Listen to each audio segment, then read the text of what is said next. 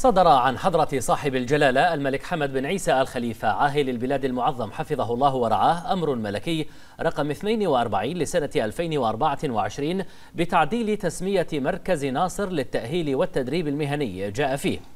تعدل تسمية مركز ناصر للتأهيل والتدريب المهني لتصبح مركز ناصر العلمي والتقني. في عنوان الأمر الملكي رقم 37 لسنة 2014 بإنشاء وتنظيم مركز ناصر للتأهيل والتدريب المهني وأينما وردت في نصوصه.